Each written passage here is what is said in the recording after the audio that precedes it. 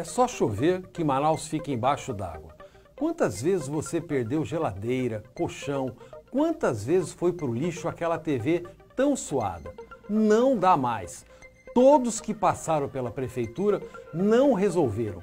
Está na hora de transformar Manaus e eu, como engenheiro e gestor, sei como fazer isso. Sei como tirar você dos barrancos e palafitas, colocando em casas dignas, levando esgoto, água, drenagem, asfalto de qualidade.